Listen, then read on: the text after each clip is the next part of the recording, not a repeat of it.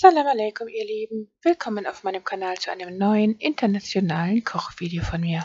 Heute stellen wir praktisch zwei leckere Gerichte her, und zwar einmal dieses leckere indische Reisgericht, was wir hier sehen, und zum anderen das Ofengericht bestehend aus Gemüse und Hähnchenfleisch. Diese beiden Gerichte könnte man dann so zusammen servieren, wie wir das hier jetzt sehen, für seine Gäste. Man könnte sie theoretisch aber auch separat servieren, indem man das Reisgericht zusammen mit einem leckeren Joghurtdip verzehrt und das Ofengericht mit türkischem Fladenbrot. Oder auch mit meinem leckeren, gesunden Leinsamenfladenbrot.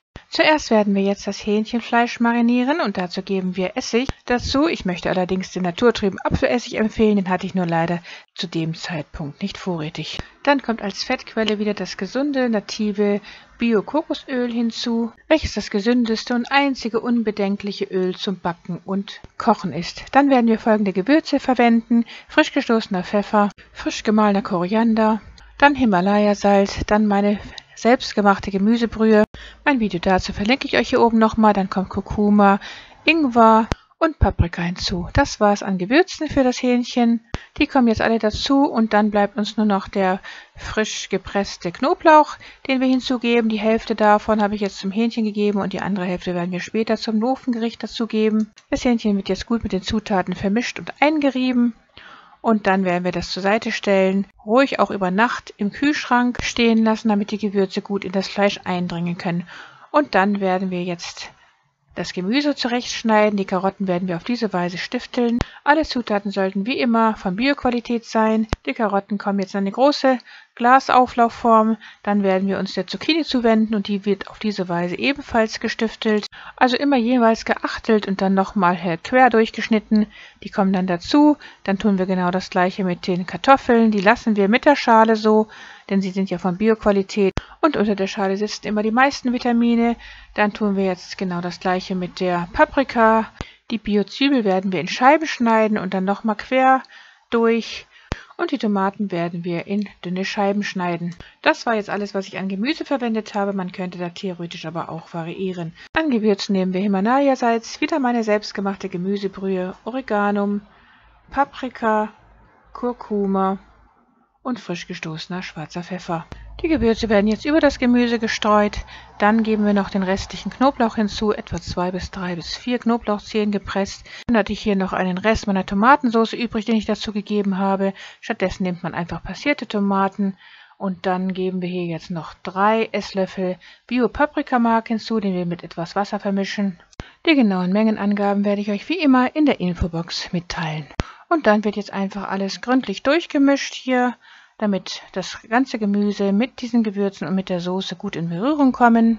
Und sobald wir das ganze Gemüse fertig vermischt haben mit der Soße und den Gewürzen, stellen wir das Gemüse zur Seite und wenden uns jetzt dem Hähnchen zu. Denn das marinierte Hähnchen werden wir jetzt kurz in diesem Wok hier anbraten. Dazu geben wir wieder etwas bio-natives Kokosöl in den Wok, lassen das heiß werden und dann werden wir das Hähnchen auf mittlerer Hitze von beiden Seiten goldbraun anbraten.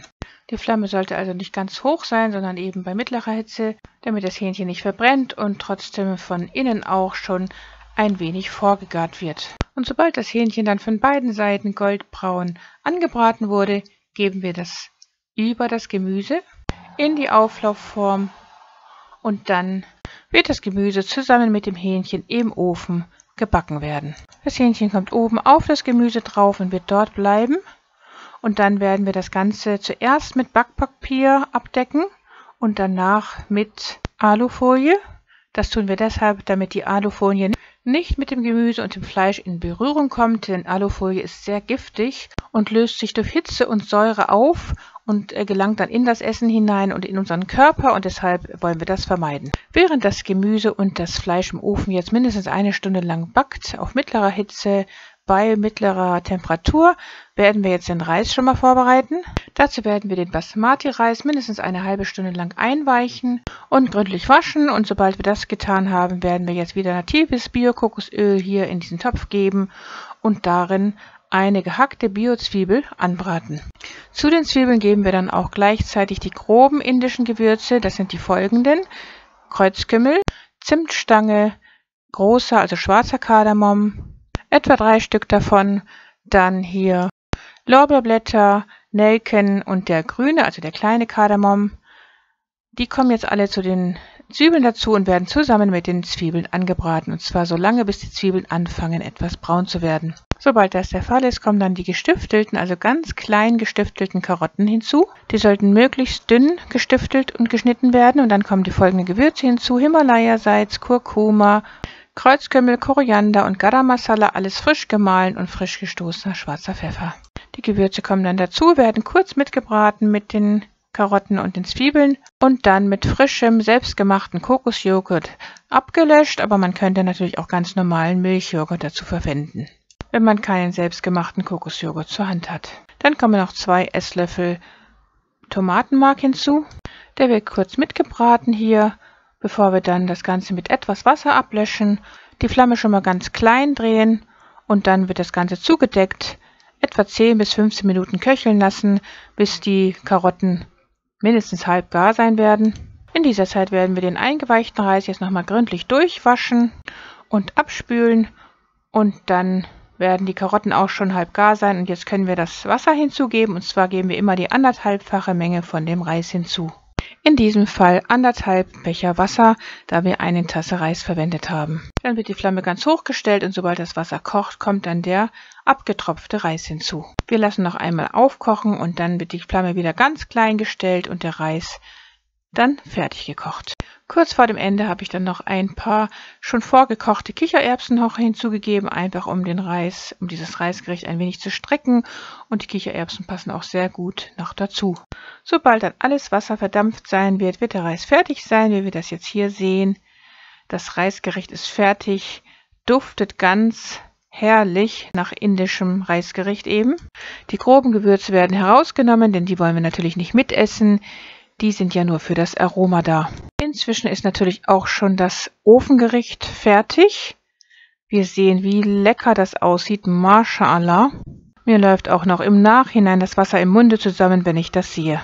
Dieses köstliche Ofengericht könnte man dann natürlich, wie schon anfangs gesagt, zusammen mit Fladenbrot servieren. Aber hier in diesem Fall jetzt für unsere Gäste habe ich das zusammen mit diesem leckeren indischen Reisgericht serviert.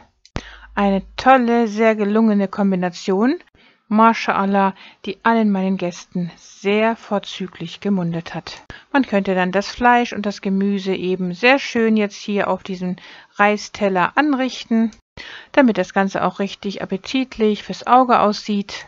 Und mit der Soße natürlich auch noch übergießen, wenn man das möchte. Ich persönlich liebe es immer sehr, wenn sehr viel Soße mit im Spiel ist. Das aber kann man natürlich nach persönlicher Präferenz handhaben, denn eigentlich ist der Reis, also das Reisgericht ja schon würzig genug und das könnte man auch allein so mit diesem Gemüse und dem Fleisch servieren, aber ich mag es immer sehr gerne, wenn auch noch etwas Soße dabei ist. Das Ganze könnte man trotzdem natürlich auch noch mit Tzatziki oder einem anderen Joghurt-Dip servieren. Das würde auch sehr gut dazu passen. Auch mein veganer Cashew-Dip würde sehr gut dazu passen, den könnte ich euch hier oben ja nochmal verlinken. Dieses Gericht ist natürlich nicht ketogen, wie wir jetzt sehen. Das ist auch nicht weiter schlimm, denn ab und zu kann man ja auch eine Ausnahme machen, insbesondere natürlich für Gäste.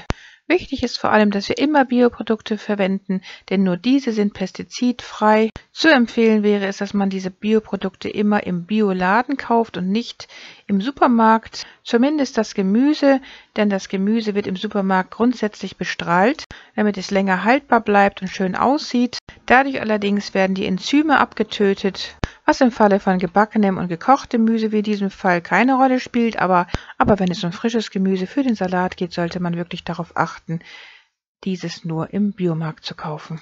Damit ist dieses leckere Rezept auch beendet. Ich wünsche euch viel Erfolg und gutes Gelingen beim Nachmachen. Guten Appetit, vergesst nicht Bismillah zu sagen und wenn euch mein Video gefallen haben sollte, dann würde ich mich sehr freuen über einen Daumen nach oben und wenn ihr das Video mit euren Bekannten teilt.